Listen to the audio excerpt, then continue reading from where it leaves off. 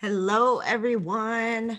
As you enter in, please feel free to put your where you are coming from in the queue in the uh, chat box. Hopefully, everyone can hear me.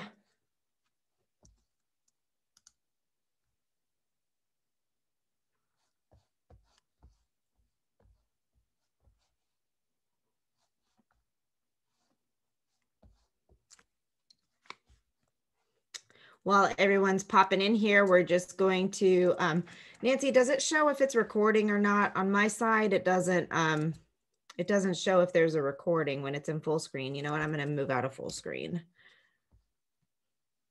How do I get out of full screen? Oops.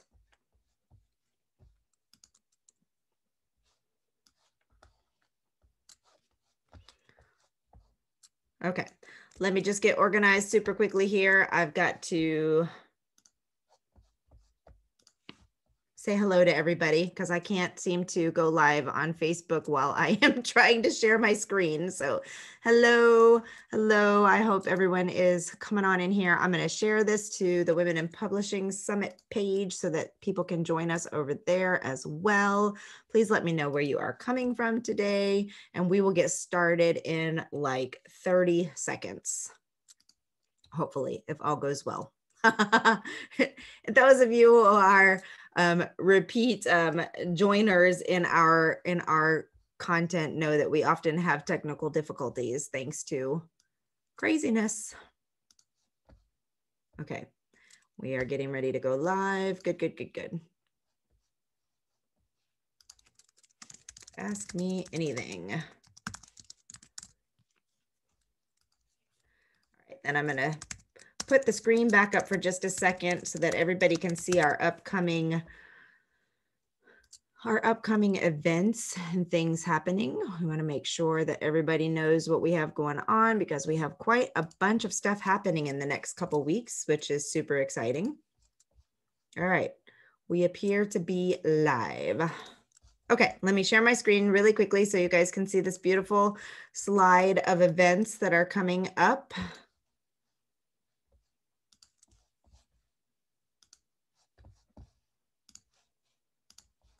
Okay. Hopefully everybody is looking at the event. So I'm just going to quickly go over this while I've got um, everyone's full attention at the beginning. And for people who come in um, to watch the replay, here's what we have going on. We have on next Tuesday, we have our self-editing tips after NaNoWriMo or at any point in time that you need help with self-editing tips with Pro Writing Aid. We've got Haley, the Haley, the lead content creator at um, at Pro Writing Aid is going to come talk to us about how to help people self edit. So, we got a couple questions on editing today um, that I would also encourage you to come and ask all of your editing questions at that point in time to her because I am not an editor, um, but we can research and ask our editor friends questions to get back on any editing questions. Um, okay, then on December 15th, we have our monthly paid training workshop. This is Facebook ads for authors. And um, it's going to be awesome. I talked to Ilanka again yesterday and we ironed out the entire um, itinerary for that training workshop. We're going to go over all the basics of why you should use Facebook ads for authors, what the business manager is, what the pixel is.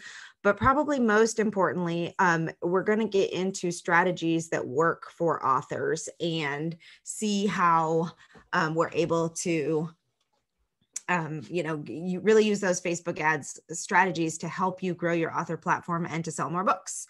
And then on January 20th, we just slid in a new um, webinar as well. And this is going to be fun. If you've been following along with us on our webinars, we, ha- we had a webinar with Fictionary last month. We'll have our Pro Writing Aid webinar on the 8th. And then we had Joellen Nordstrom from First Editing, another editing company. Uh, she did a presentation. She kicked off the summit last year for us. And the three of these ladies work well together to show authors how they go through the entire process from editing your story structure and editing the story and how you can use Fictionary to do that, to using Pro Writing Aid to help you with the self editing, to working with um, a real live editor to completely, um, you know, finalize and finesse that final product. So that's going to be a great one. You can register for all our upcoming events at womeninpublishingsummit.com forward slash events, and we will continue to add new things as they come along. So check back regularly. Okay let's get into it. I'm going to start. First of all, hello, everybody. Hope you're having a great day. I'm going to start by answering the questions that came into us via email because those were people that couldn't attend live, and that way they don't have to um, sit through the entire thing if they don't want to. Um, I would ask you to use, if you're here in the broadcast with me, if you can use the Q&A box so that they don't get lost in the chat chatter, that'd be awesome. Um, but if you do put it in chat we'll we'll come back around to it. So what is the purpose of these events? And if you're excuse me if you're joining us live on on one of the facebook pages you can add your comments right there on the facebook page and um and nancy will make sure that i see those. So nancy we're live on both women in publishing summit and the Write Publish Sell facebook page. So hey to anybody who is new to me or just catching this stream um, and and don't know who we are i'm alexa Bigwarfe of Write Publish Sell and host of the women in publishing summit. And i like to do these ask me anything eh, um, periodically because it's a great opportunity for everyone to come in and just kind of ask the most pressing questions on their mind. This actually started accidentally. We had scheduled an, a webinar and the guest couldn't make it at the last moment. And so we decided to do an Ask Me Anything instead of having the webinar. And it turned out to be a really popular um, event. We had a lot of people ask a lot of questions and it was a great fun for everyone. So I'm going to go ahead and feel free to go ahead and ask any questions that you have, put them in the chat box, and I will get to them as I go through these. So um, the first question that came was, I can't attend the Ask Me Anything today, but I do have a question. How can a nonfiction author find speaking gigs? Most advice is to Google relevant conferences, but many events are canceled due to the pandemic. So, do you have suggestions for how an author can secure speaking gigs right now? Actually, I do. While many live conferences and live events have been canceled, as you mentioned, there are a ton of online conferences happening all the time, similar to the Women in Publishing Summit. I just did an interview today um, on the Women in Publishing Summit. I mean, on another summit, good grief. And um, there are plenty of conferences happening right now because of COVID. So many people are moving their events online and everyone's looking for great presentations. So I, I would continue to Google and look for online conferences, online events for writers, but think smaller. Um, last year in the summer, we had a couple people come talking about talk about getting speaking events. First of all, if you are um, ready to go out and get big speaking events, there are several websites online that offer um, uh, that offer a, a like a composite a composite look at what speaking events are out there across the board and you can actually apply for different speaker events. So you can check out sites like that but also look local first. Um, almost every person that i've talked to about how to start off as a speaker has said that you should really try and start speaking locally before you try and do anything else.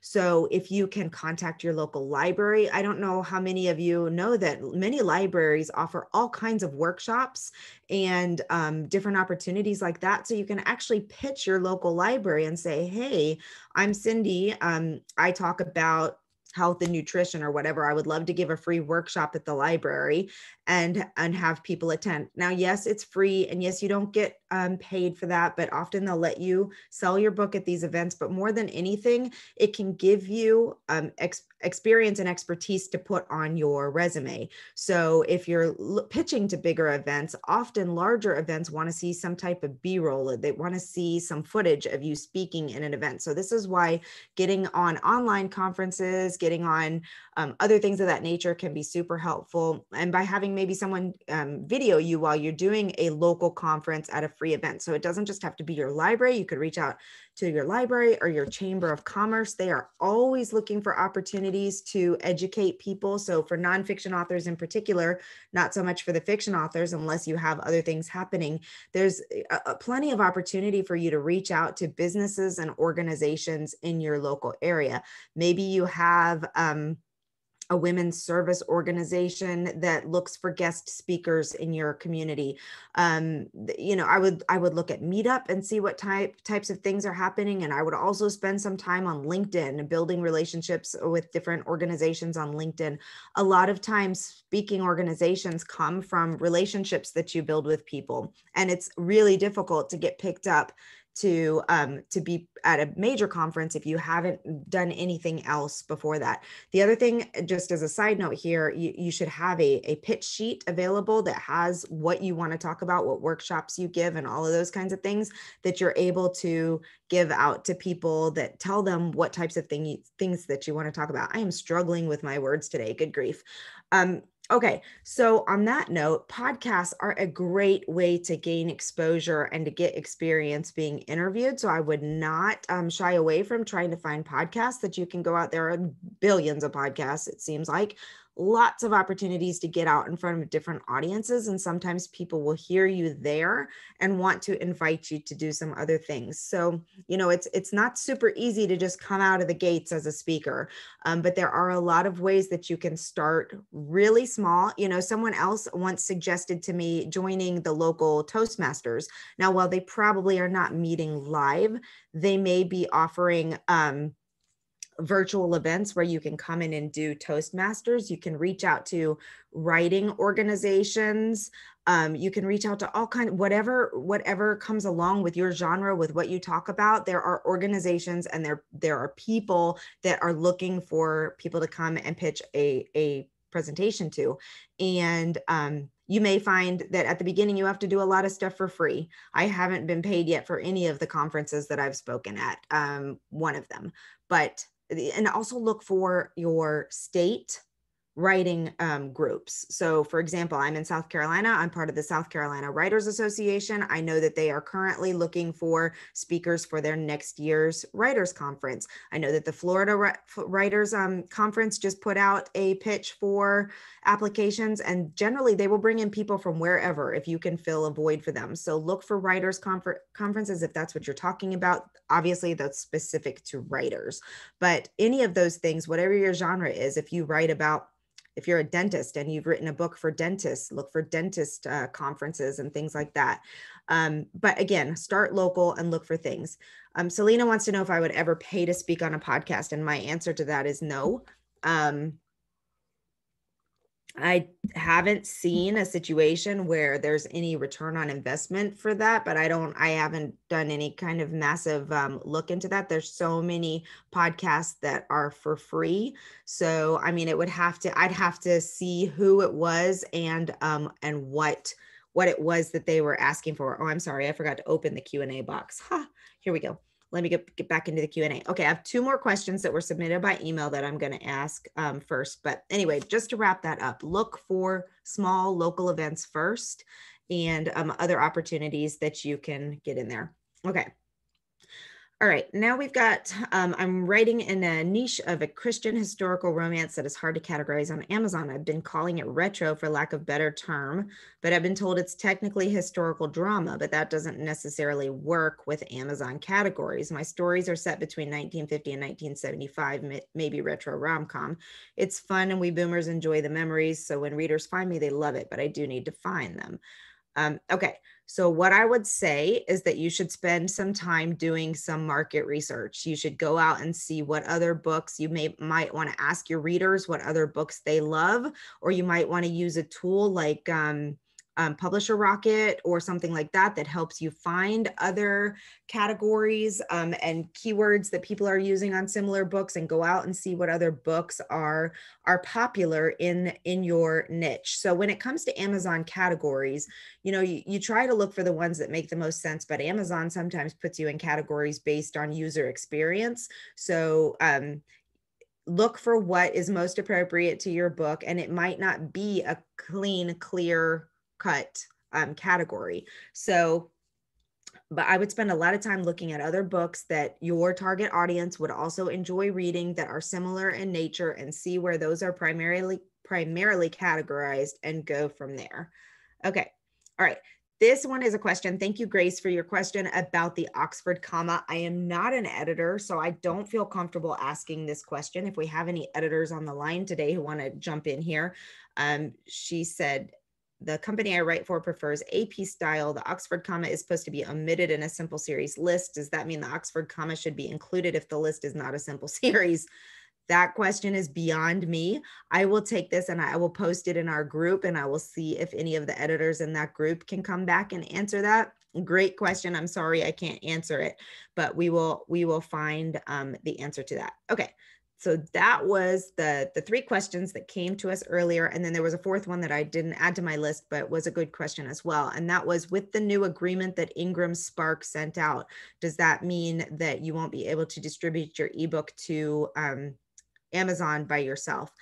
I would have to go through and very carefully read the new agreement. But generally, whenever you're working with a distributor, you have the option to choose which sites you are distributing to. Or in some cases, if your book is already distributed in ebook format on KDP, for example, then they're not going to override that distribution. However, I do need to dig into that a little bit more. As a side note, I don't ever publish ebooks through Ingram Spark um, I always publish them directly on Amazon.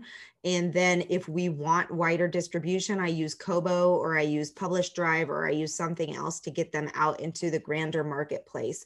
I just haven't seen um, the distribution through Ingram Spark being something that works well um, for us, for our books. But, um, you know, again, go read through that and you should be able to ask their customer service if you want to just make sure that you understand everything perfectly clear. But generally with a wide distribution you can opt in or opt out of different places. Okay all right now we are to cynthia's question. Here we go. I'm about to send a draft manuscript to alpha readers for the first time. I think you mean beta readers. I love that. Um, but I like alpha readers too, the very first ones at the beginning, the alpha readers. Um, okay, sorry, I don't mean to make fun of you, Cynthia. I'm not making I'm not making fun of you. That just caught me off guard there. um, any suggestions for guidance I should give to them? Two of them who are experts in anti-oppression work um, will actually be paid sensitivity readers. Awesome to help me make my nonfiction book more inclusive, but others are friends and colleagues. Okay, this is a great question. With beta readers, what you want to do is you want to give them very specific guidelines when possible.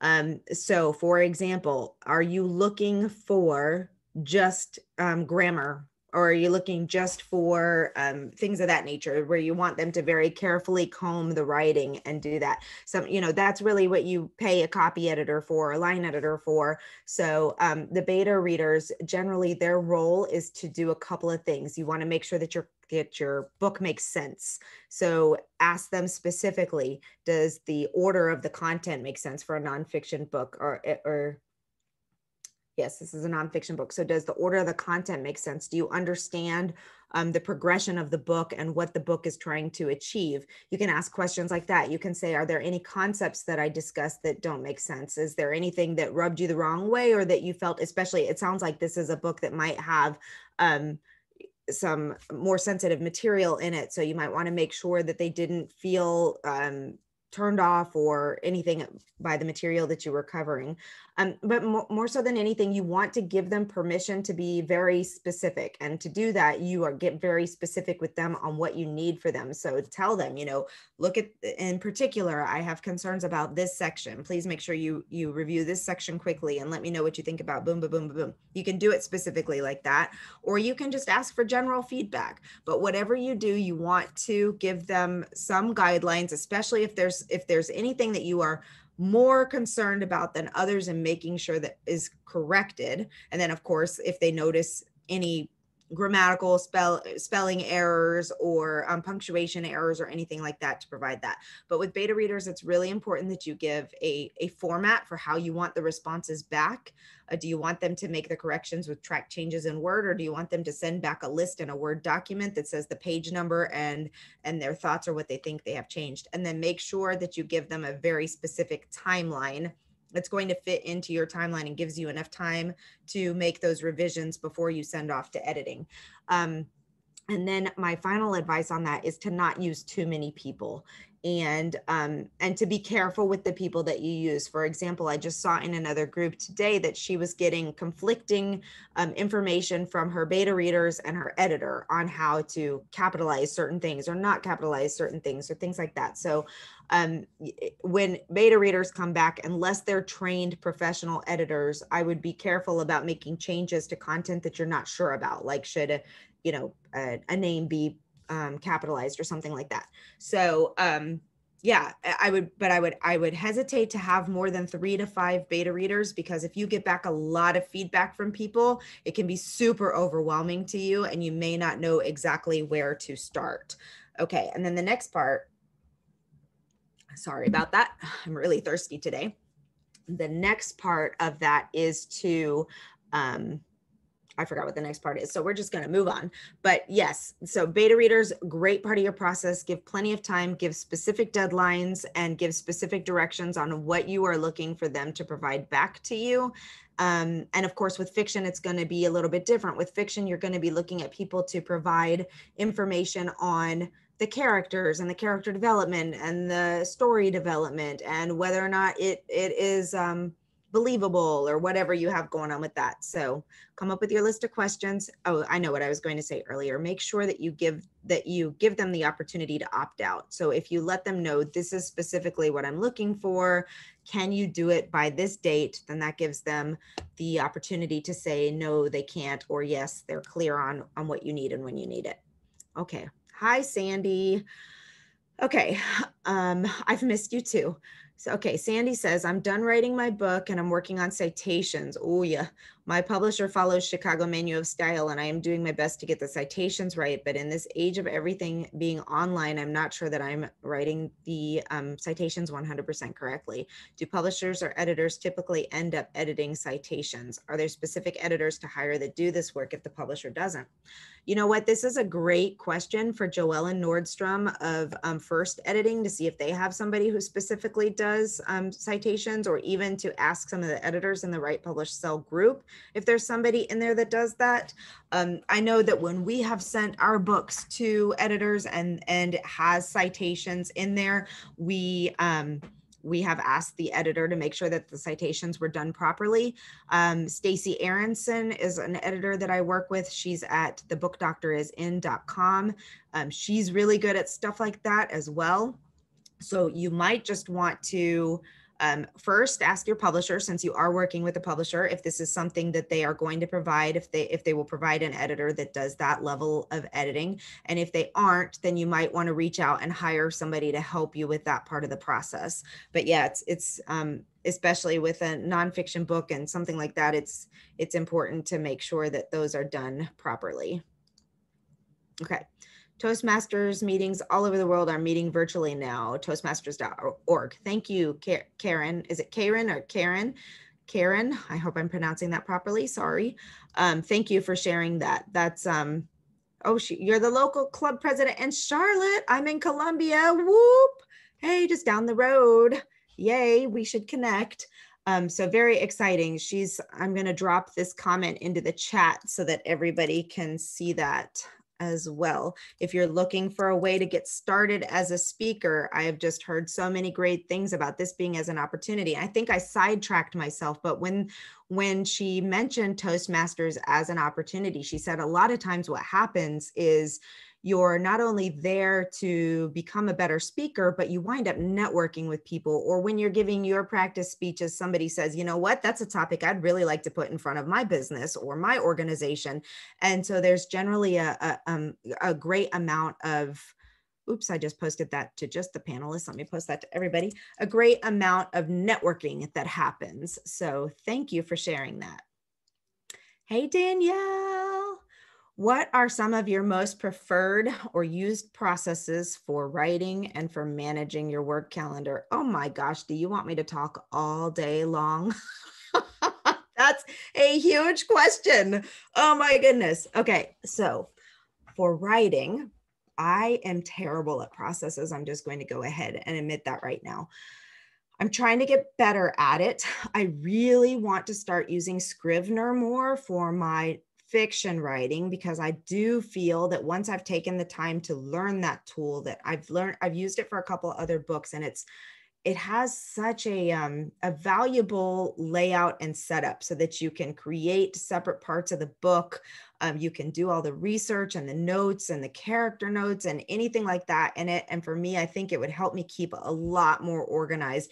And one of the other cool things is that you can also export it to different ways and things like that. So right now my current process is that i start every chapter in a google doc and i try to keep the chapters separate at the beginning um, because it can get super overwhelming for me to have a really long um, word doc and when if i'm trying to find something or if i remember i want to go back and work on a particular section it can be really difficult to find things. So i um i go into um a, a a Google Drive and I start a folder for my book. And I then go in and I create a, a, document for each chapter. And the beauty of this is if you are a sporadic writer like me, and what I mean by that is that I don't necessarily write a book in order not necessarily i never write a book in order. I have yet to write one in order. Sometimes i start in the middle sometimes i write the end and then go back to the beginning. Um, this way I, I just kind of keep them i title them kind of by the topic. So if it's uh, the fiction book that i'm writing on right now i'm actually titling by week that i wrote it because i'm working with a writing coach. So that helps um, both the writing coach and I stay on track with where we are. So, like, I'm about to go into my eighth session with her. So, it's titled uh, Cali Week Eight. Um, and that way I can keep track of, of um, where we are in the process of writing together. So I, I hope that answered your question um, for the writing process. I'm just going to go ahead and say my writing process is all over the place. I am a pantser times a million. Um, I am super like the creative mind, not the organized mind, which does me no favors in the end of the in the end game because I wind up having to pull things from all kinds of different places and it's really um, can be challenging. So I'm trying very hard to come up with a more um, Danielle, we're like brain twins. Um, I'm trying to be more organized and structured with it so that it's not so painful for me in the in the end when I'm pulling it all together, which is another reason why I'm really interested in looking at Scrivener because I think it helps a little bit with that organization as well. But we shall find out.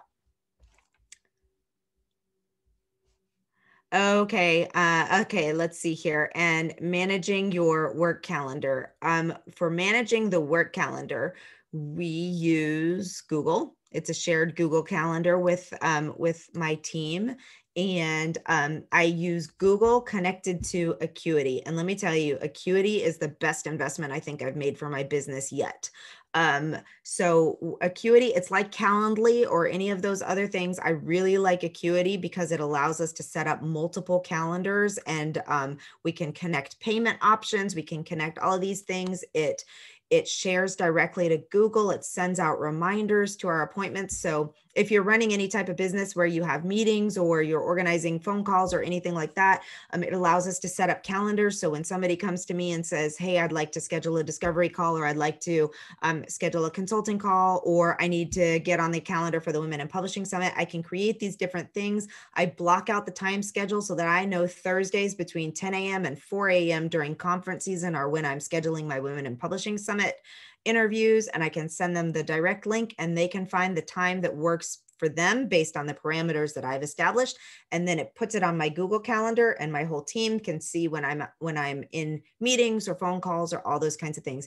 It's been a lifesaver for somebody who is um, who is not as greatly organized. It keeps our calendar super organized.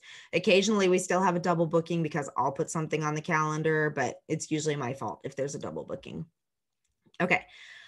Here we go. I've been promoting my Christmas book. What do I do come January? Hi, Philippa. you know, it's funny that you should ask that question because we've been asking this question ourselves. What do we do come January? And really, um, I think that what you do between January and say August, when people start thinking about Christmas stuff again, is that you think about the other themes that come in your book. So, hello, Philippa. She is um, our author of Rupert Snowman, which we have talked about so much over the last few days, weeks, and months. And I hope that um, that you've all gone and looked at her book because it's awesome. But it is centered around Christmas and winter. So, what happens when those are no longer themes? Well, she does have a theme of um, of compassion and and other things, empathy and other things that are in this book. So you can do some things about that, but I think that what if you have a seasonal book, the off season, if you will. So basically, everything from mid January until, I mean, people start getting ready for Christmas in about August, is to spend that time developing relationships with people who can help you promote the next time around. So find other book bloggers, find, um, businesses and organizations that might want to use your book um, somehow during the winter season. Start looking at bookstores, libraries, other places when you have the time to develop the relationships and to develop a plan and opportunities to bring the book to them as they get ready for the next year. So, yes, subscription boxes, amen. Like you can start building those relationships and seeing who you can um, reach out to to create those relationships so that when August hits next year, we are ready to rock and roll with uh, throwing different things out to people.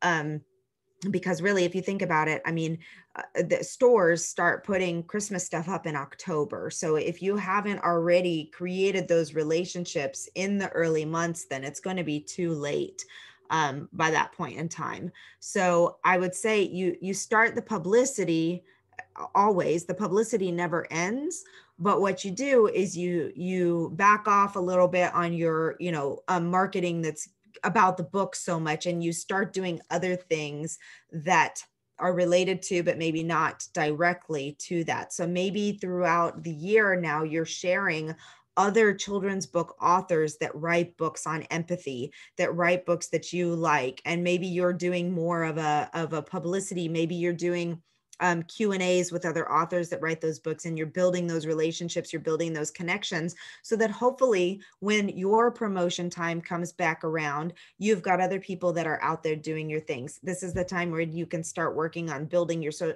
eh, continuing to build your social media, continuing to build your blog, continuing to build relationships. There's just all that stuff that takes so much time and energy and effort. You now have a window of time that you can do that. Oh, Cynthia, I see. I see what you meant. I'm so sorry. That was silly of me. That, so your alpha readers are your pre-beta readers. Sorry, I uh, obviously missed that. oh my goodness. Okay, I'm writing a memoir. Excuse me. And I will be using a pen name for privacy purposes. Can you recommend any publishing houses for me? Oh, so Donna, this depends on if you are trying to publish traditionally, if you're trying to go through a hybrid press. Um, I would say, let's see, you create, you published the Create Space before and it's on Amazon and you can't afford to self-publish. Okay, well, it's it's going to be challenging um, because right, I mean, the publishing industry is is is is flooded. So there's a lot of people um, writing memoirs. There's a lot of people doing this type of thing. So the first thing I would do to you without knowing anything else about you, Donna, or what you have going on is I would suggest that you one have in have taken some courses on memoir writing or um, or joined a, if you can't afford courses maybe joined some groups of memoirists or um, go to brooke warner's website. Brooke warner um, coaching i believe is the full website. She has a ton of resources on memoir and make sure that your memoir is sellable so, does it fit the parameters of what people are looking for? And then I would suggest that you start building up an audience, and I would suggest that you start working heavily on your proposal so that you can see what else else is out there in the market um, who your um, competition is, who your similar books are, and make sure that you are fully prepared with all of your stuff to pitch an agent. I would also suggest that when the Women in Publishing Summit rolls around in March, that you, um, if you haven't already find um, a, an agent by that point in time, that you spend some time looking for uh, an agent um, that we will have an agent in the summit. That's why I mentioned that. But in the meantime, start looking for agents that publish memoir and memoirs. Uh, they're so different across the board. So look for an agent who publishes in your in your type of memoir. Um, but find somebody who can review it and let you know how it's going to do with a traditional publisher, or maybe even um, get some feedback on on um, what you can do to improve it, its chances. But memoir is a memoir is a tough a tough place. So i just want to make sure that you are you know prepared for that that there's it, it's it's not easy to find a traditional publisher but i also want to say there are a lot of very small houses that may want to pick up your book that don't charge any fees that that um, that you should look at. So find a um, find find some resources do some googling look for agents and also look for publishing houses that take unsolicited manuscripts. So what does that mean? That means that you don't have to have an agent for to submit your book to them to review. But i would also strongly consider um, having your book reviewed by someone who is a professional in the in the field. Uh, yes the library is also always a great resource as well. Thank you sandy. Um, okay let's see do you have any suggestions regarding reaching out to book clubs? How do we find them? And for those few popular ones, how do we suggest our books to them? Nancy, um, do we have um, the YouTube link for Casey's interview on book clubs? If we could drop that, I'm pretty sure that's a that was a a webinar on that we did through the Women in Publishing Summit. I'm pretty sure that's a public webinar. Nancy's grabbing it. We'll put that in there. That's a resource um, as well. We did a whole thing on book clubs, but you know, again, I'm just going to tell you, Google is your friend with stuff like this. There are a ton of book clubs out there. But if you, first of all, my first question to you is Do you have book club questions prepared? Are you ready to? I, hopefully, you do. Um, but if you don't have those out there, then make sure that you have solid book club questions. And then, secondly, you can start by looking at Facebook and seeing if there are book club groups on Facebook, or you can go to organizations. Almost every major professional organization has some type of book club. For example, I was in a sorority in college, Kappa Alpha Theta, and um, we have um, a book club for Thetas. Uh, to read, but it's not just Theta offers. They authors they do try to um, to promote the Theta offers, but off, offers authors if i could speak today that would be super helpful. Um, but you can you can reach out and see do you do you have to be a member of this organization to submit your book for a book book club um, event? You can just go to meetup.com and see if there are local book clubs. You can start your own book club. There's no reason why you can't start your own book club. Um, but look for facebook groups look for organizations contact the admins of the group say is this something you would like to do a book club um, event on? Um, I just interviewed Shelly on this topic because she's created some great, great things. Um, and I can't remember if we did this in our other one. I'm sorry, I'm thinking out, I'm processing out loud here. That's no good. I'll come back to that. Um, but yes, uh, book clubs and also subscription boxes. Book subscription boxes are a great place to look. But I mean, you can always start by asking your friends, asking people in your local group, asking if you go to a church, ask your church if they would host a book club for you. Um, I remember saying that one time and, and the lady was like, um, I'm not exactly comfortable with pitching my book to the ladies of my church. And I'm like, enough said, go find a different group. but you know, there's there's it, it all of these things though, ladies and gentlemen, I just want to tell you, take time, energy, and effort. And you have to be willing to spend some time to dig in research, look out there, ask questions. If you're on social media, ask it, not in a promotional way. Just be like, hey, are you part of a book club? What's the name? Would you connect me to them? Look for organizations like um, MOPS, the um, the Moms Group for um, I forget exactly what it stands for, but there's the MOPS Group. They also have a speaking uh, speakers bureau speakers connection thing where they um, hire speakers for different uh, groups um, and meetings. So ask people, go on um, Goodreads. I can't believe I haven't mentioned Goodreads yet. Oh my goodness, that is like the epitome of places to find readers. So go check out Goodreads and see what groups you can slide your way into. But you know what? It comes down to relationships. Nobody wants to just be like, hey, can you do a book club for me? Or hey, can I be part of your book club? Or hey, can you do so and so? Hope it's not COVID. I'm just kidding. That was not a funny joke, but not a funny joke at all. I have a little bit of a cold, but it's wintertime and cold, but who knows at this time of year? It's scary, isn't it? Um, okay, so I'm going to move on before I say something else crazy. Okay. Uh, when you do reach out to book clubs, um, that may have been your actual question. How do we reach? Well, I answered the how do you find them, but when you reach out to them, I would suggest that you say a couple of things. Hey, my name is Alexa. I've written this book. Um, that I think might be of interest to your book club. Let me tell you a little bit about it. Here's the brief synopsis. Um, I'm happy to send you a free copy of it so that you can look at it first and determine if you think the rest of your group would like it. Or I'm happy to send you the PDF or something like that. Or even if you're trying to get more eyes on your book, maybe you have it loaded through BookFunnel and you can say, here's my link to BookFunnel. I'll even give it to your whole group to download and read if you guys are willing to leave reviews on Amazon or Goodreads if you loved it um, oh, by the way, if you want to do a live, I know lots of people are doing their book clubs on Zoom right now. If you want to do a live book club, I'm happy to come in and answer the questions for you or do the questions with you or talk about why I wrote the book or whatever. So that's always fun. Um, Casey, the link that we just put in there, Casey, um, makes beautiful wine glasses that are in the theme of her of her um, book. It's got a butterfly like what what was on her book. And um and she gives those to the hosts. So you know sometimes a little bit of bribery goes a long way. Okay from Julia. Before my book launch, I ordered some copies from Ingram Spark so I could fulfill orders for signed books. I'm now out of stock, but I can't get more copies from either Amazon or Ingram Spark until around December 20th. Yep. I did place an order for author copies from Amazon. Customers can buy my book on Amazon today and receive it by the end of the week. Someone suggested I tempor- temporarily discount the Amazon paperback price, buy copies as a customer I just had this exact same conversation with another person. This is so strange. I mean, exact same conversation. Um, buy copies as a customer and then bump it back up. Is this a legit strategy or will it raise red flags and cause me problems with my Amazon account?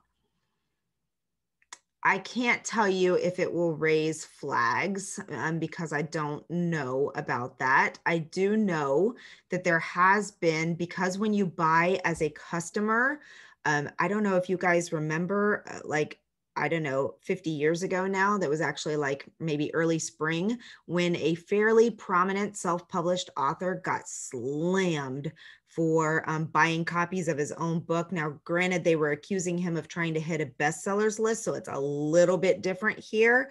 But um, it's not that it's a it's not that it might be an illegal strategy it's just not a great strategy um i would say. So uh, you're in you're stuck in a hard place right now because you need books quickly to put them out um but here's what i will say about ingram spark there have been times in the past few months where it's taken a full month for us to get books from them. There have been times when we ordered books thinking it was going to take a month and it took like a week and the books arrived. So sometimes, even though they project they arrive earlier, um, I don't know if you did you say specifically you can't the, the other option that you can do is you can um, you can tell people that they will be available by January, you know, that it's going to be a little bit longer that you thought. Just let your people know you're getting them, but there was a holdup in the ordering process and and you'll send them out to them as soon as you can. I mean, it may feel like December 20th may feel like eons from, from away from us right now,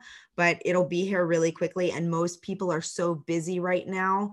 Um, unless they have a specific need for your book prior to that, in which case then you could just ship them one directly from Amazon um, in onesies and twosies. But I don't I don't want to go on record as ever telling somebody that the appropriate thing to do is lower your price buy a bunch of copies and ship it out. It doesn't sit well with me. So if that's what you decide to do, that's what you decide to do. But um, it's certainly not something I'm going to um, weigh in on. Um, but this does go to a larger picture. So what I told um, the other gal that was having a conversation is she's got an event in 12 days. She only had 20 books on hand. Um, she has the same situation. She's afraid that the books won't get there until after the event. And so what I told her that she could do is um, still collect payment from people and let them know the situation. Her event is at her church with people that she knows. So it's a tiny bit of a different situation than cold um, people, but she i said since it's this particular situation you could sell the 20 copies that you have and if if more people want to buy them then collect payment get all their information place the order now as soon as you can so as when the books arrive you have them and then deliver them to the church and, and talk to the church and see if they'd be willing to hold them in their office and people give a list of the people who paid and and give it out to them like that. So you know it, it raises the bigger question of are you prepared as a as a retailer because and now as a self-published author you are also a retailer. So when you are preparing for publication and for pre-orders and for all of those things you should order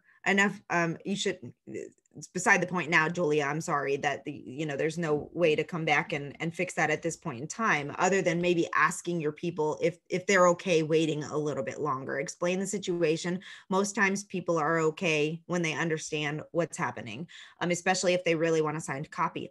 The other thing that we have done from people for people is if they are super anxious, you can order book plates and you can sign your name on the book plate and you can say, you know, I don't know if they've pre-ordered from you, if they've already paid you or um or if these are giveaways or what the situation is, but um, you can if somebody really wants the book and they really want a signed copy you can direct them to buy on amazon and then say i'll drop a book plate in the mail to you. And you can um, and you can do that yeah, that's great. If they're available in local indie bookstores, then you can, um, that, that's a great opportunity too. So uh, I just got an update that I don't think everybody can say that she said I directed a local customer to go to an indie bookstore if they needed copies quickly. Or, I mean, but what, why can't that uh, yeah yeah either way that's great but i would encourage everybody who's uh, for a future situation to expect that it's going to take both ingram spark and amazon three to four weeks to fulfill your author book co- cover copies, book copies. So please make sure that you always assume a month, always assume that you're going to need a month and make sure you are prepared. I like to have, if, depending on what type of, of launch event you're having, when we're doing live events and people are going to be there and sharing, and you've invited a bunch of people, I like to order 200, 100 to 200 copies. But um, I like for everybody to consider ordering 50 copies ahead of time, um, which you can only do if you're going through Ingram Spark because you can't order copies ahead of time on KDP. Um, but you can you know make sure that you're prepared if you think you're going to get picked up because sometimes you just you just don't know somebody might see about your launch event and want you to come do an event immediately following and you want to make sure that you're able to fulfill those orders. I wouldn't suggest you order hundreds of books without knowing anything yet about how your book is going to perform, but um you know, please please um consider that timeline when you're thinking about books that you need. But I mean, again, the books could print faster than they have suggest they have um, put in there. So maybe you'll get them faster than than they're saying. Okay. What is the best, most affordable way to market your book? Oh my goodness. Build relationships, get in front of people, talk about it, but not just about your book. Talk, find organizations or people that are going to be interested in your book. Um, oh my goodness, we could spend all day long just talking about this because it's going to be 100% buried on genre, on um, time frame on timeline. I'm going to tell you right now um, sales on december 1st after all the black friday madness are in the toilet. So like if you're trying to get out in in when there's all kinds of noise and everything happening it's really really difficult. So um you know you can you you you can go out and and kind of get a feel for what's happening um, I, I love to use the example of my friend christy who wrote a, a book a cookbook about recipes that were discussed in the gilmore girls. And it was just pure luck that when she decided to do this book, they re released Gilmore Girls on Netflix. So there was all kinds of publicity about Gilmore Girls. So she started researching the people who were talking about the Gilmore Girls bloggers, journalists, all those things. And she reached out to them, let them know what she was doing. And a lot of them wanted to interview her and wanted to talk about her. So if there's a theme that's bigger with your book, who's talking about those themes? And how can you strike up relationships or be interviewed or write for um, the right for their website or organization or any of those things. There's so many, so many things.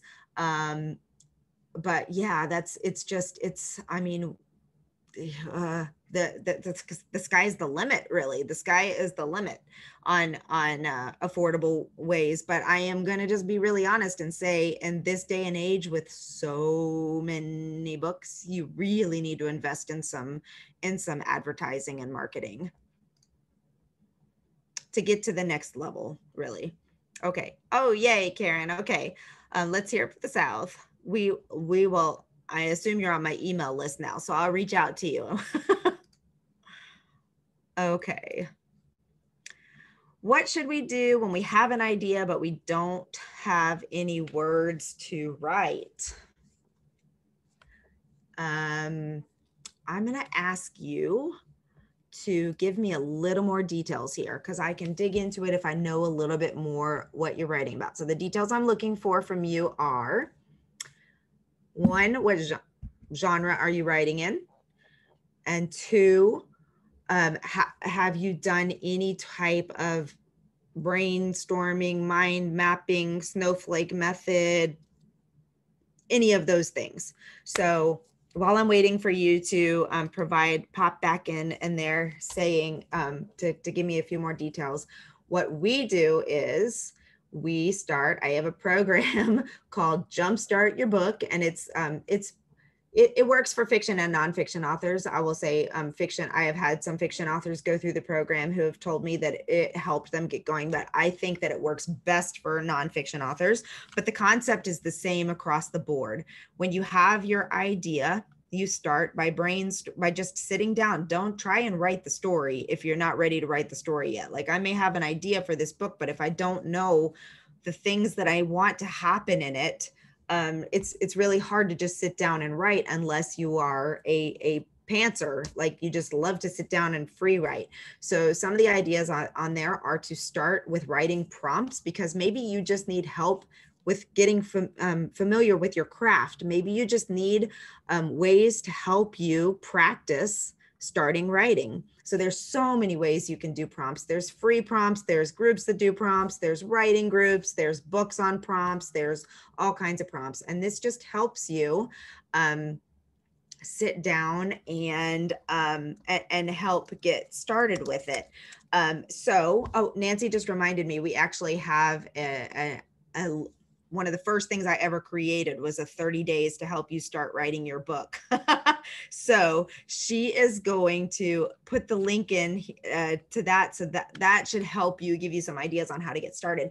But um, for nonfiction, I started with talking about the mind mapping, you know, sitting down and putting that central idea on the center of your page. So my next book, third one in the series. We've got Ditch the Fear and Just Write It, Ditch the Fear and Just Market It. And now it's going to be Ditch the Fear and Just Publish It. So when I'm going to put publish in the middle of the page and i'm just going to start thinking about okay if i want to help somebody publish their book what are all the things they need to know i mean there's all the obvious things like what's an isbn where do i get an isbn what's an uh, an imprint how do i know you know where to find an imprint is do i have to um you know start a company uh, to publish a book? Do i have to um how do i find keywords and categories? Like all the things. I'm just going to sit down and i'm just going to brainstorm out all of these different things. And then i'm going to take those ideas and i'm going to organize them and that starts you in a uh, you know process of okay now i know what to write about because i can take any of these things and i can just start writing.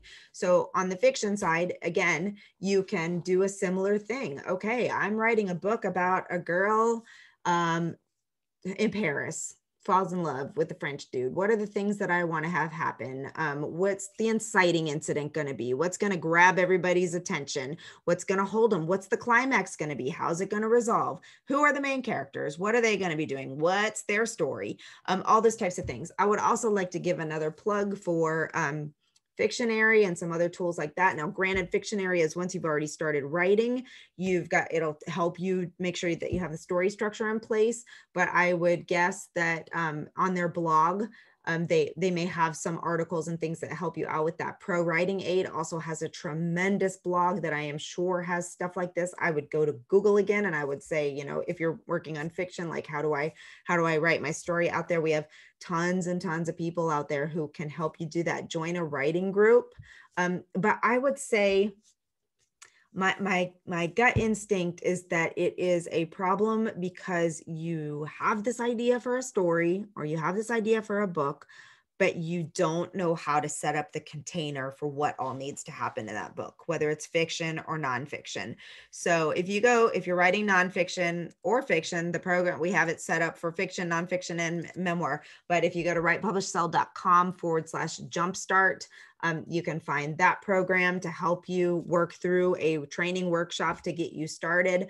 Um, or you know grab any number of resources out there or just google and see what's out there for free but i would really spend some time just trying to figure out what it is you want to happen in your book no matter the genre.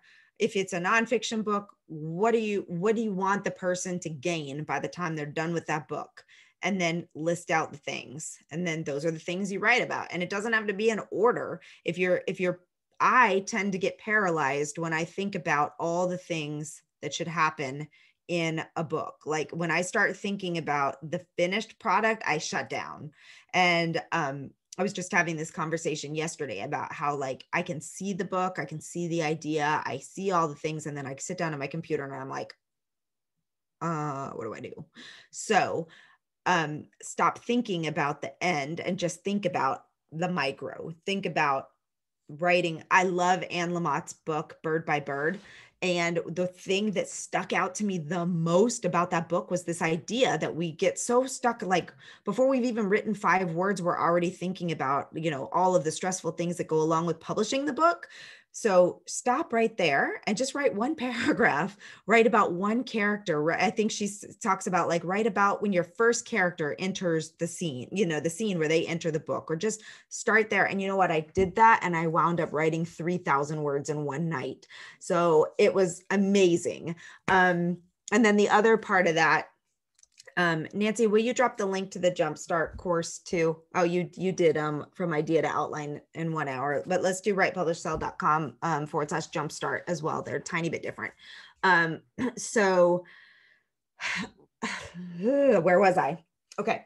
So yeah, just start small, start really small and and and start with some type of of outlining to help you get going. And we must might have lost that person, or maybe my answer was okay. But um, if you have a follow up answer or follow up question, don't hesitate to ask. Okay. What time are we at? We have four minutes to go. So I'm going to try and get to these last two questions here and then we're going to wrap it up for today. But I do want to tell you about a couple of things before before we do that. First of all, if you weren't here when we first started, please go to womeninpublishingsummit.com forward slash events so you can see what all we have training coming up. We have several free webinars coming up and we have several paid training events coming up. We have a, a self-editing course with pro writing aid coming up. We have a, a Facebook ads training, which is going to be amazing. It's for, it's beginning Facebook ads, going right through and talking about all the key things that you need to know so you don't waste a bunch of time and money, plus the strategies that are generally the most effective. Then we have um, a membership program that I didn't tell you guys about that's starting, and I'm going to show you that screen in a minute. But um, okay, let me get back to Cynthia's question here. I see people in the writing community saying they sent a nudge to literary agents when querying. What does this mean? Agents seem to be clear that they don't want to be contacted after the query, but it's getting to on to be months since I queried some of these folks. Is there an appropriate way to reach out to them without irritating them? So there's no one right answer to this question because it's really going to depend on the agent. What I would say is if it's been months, um, I would first go to their website and see specifically, many of them have very specific guidelines for submission on their website. And if they don't want to be bothered again, it will be stated um, or if it says something like we are open for submissions between January 1st and June 1st, then don't bother them until after June 1st, because that means they're reviewing everything during that window. And once they've reviewed everything, then they will contact people. Um, but it varies so much from agency to agency, person to person, publishing house to publishing house. So I would first see if they have anything on their website that says, here are my submission guidelines. Here's what you can expect to hear from me. Um, and here's, if you don't hear from me by this date, follow up. Then the second part of that is that there are everybody is super overwhelmed with submissions and things. So there are things that fall through the cracks. There have been a couple of times where we completely missed a submission. So i don't think it's necessarily a bad thing to reach out and just say hey you know just checking in. But again check their check their guidelines. And i would give them a fair amount of time before you start pestering them and just you know give them um, the opportunity to that. So but but you know be gentle in, in your response. I know you probably have a ton of submissions to look at. Um, i sent you this on this date. Maybe give them a little synopsis to jog their memory or something and just let them know or ask if they are still reviewing or if they've made a decision Okay, hi Marlene. There's so many strategies for marketing. If I could choose just one strategy other than friends and family to sell my nonfiction on adulting, which one should I choose? My book release is Saturday. Oh, Marlene, I wish you'd asked me this question about six months ago. Um, at this point in time, I would suggest that you try and, um, oh my goodness, um, try and maybe, oh, that's a short time frame so it's not too late to um, maybe see if you can submit some articles to some online websites on this topic. They may not run for a little while, but you could have them out there. You might want to talk, um, see if you can find some podcasts um, I don't know if you're involved with um, social media, but you can definitely post on social media. Uh, I would give your book to as many people as you possibly can and ask them to read it, review it, and share their reviews. Um, and it doesn't have to be the print copy. You can give them the PDF or an ebook version of it. So, um, yeah you're going to have to hit the ground running with with your launch to continue marketing but i would try and fill your schedule with interview opportunities with opportunities to either submit articles or blog posts or um, writing for magazines that cover these topics. Um, you could pitch the media if you've got a time relevant um, topic that you can pitch the media to. And um, and yeah just the best thing you can do is try, try and create buzz and word of mouth marketing Okay. My heroine had left home and lives with friends. What do I call that place? Home? Her friend's house? Hmm. That's a good question. Um, I guess if she left her home, you could say she left her home or where she grew up and now her home is her friend's house. That's a great question. I would uh, without any other context that's really hard to answer. So um, I would suggest that you maybe go into some writing groups and ask this question. There's tons of writing groups on um, on Facebook or in other places online really, really, really, I can't impress to you enough how important it is to work on your craft and to find other writers and to get in those groups with them and to do join critique groups and all those kinds of things. Those are great questions for um, for other writers as well. Whoo, we did it. One hour in the books. Okay, everybody. Um, I'm just going to quickly show you this beautiful slide that Nancy made for us because I want to very, very quickly talk about this. I'm not going to spend more than two seconds on it but we've decided to create a monthly it's more like a mentorship program basically when you come into the program you get one one hour of q&a with me a month like this except for we're going to offer it every month and for only our members um, and we can bring you into the Zoom room with us so we can actually have conversations. Um, we're also bringing in my entire team for one hour a month where you can ask about social media you can ask about finding reviewers you can ask about all of those things. I'll try and pull in some editors because we've getting we're getting a lot of writing and editing questions as well. You get access to our monthly paid workshop. So right now we're doing um, facebook ads for authors Um, and then we will have four mini coaching sessions, hot seat power coaching sessions a month that you can apply for. And then we'll have a private Facebook community where we can do all of these fun things together as well. So if this is something that sounds of interest to you, we actually kicked it off um, yesterday and our first live q&a is tomorrow so i know you just came out of a q&a you might be like whoa that's a lot um, but you can still join us. And if you have residual questions or other things that you want to do, um, and the price for this is $47 a month, which is super reasonable. And um, there's no commitment to stay. So if you come in one month and um, you get all your answers and that's all you need, um, or you came in so that you could save $3 on the $50 um, Facebook ads thing and get all these other stuff, that's cool too. But just wanted to share that with you because we do want to create a, a resource that allows people to um, to get their questions answered without having to pay for consulting fees and all of that, that kind of stuff. You'd be surprised what we can answer in a short period of time to save you a bunch of time and energy. And we only do this Q&A once a quarter and actually it's actually going to be once well we'll have something um, similar with the women in publishing summit so we'll have one next quarter as well. But um, thank you everybody for being here. I really appreciate it. I think we got all the questions answered and um, yeah, we will see you all soon. Don't forget to go to womeninpublishingsummit.com forward slash events to see what all is happening and what is up and coming. And we will hopefully see most of you back for the self. All of you had editing questions. Please sign up for the Pro Writing Aid um, webinar. It's free webinar next Tuesday and come ask Haley all of these questions. Okay, thanks so much. Have a great, great day.